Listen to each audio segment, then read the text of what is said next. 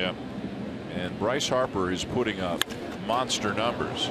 Here's a ball off the bat of Dyson to right center Yeah. field. Yeah, At least. That might Yeah. be four. He might send him. He might send him. Oh Wow. An easy stand-up triple for one of the fastest men in baseball, Jarrod Dyson. It didn't work out last October, but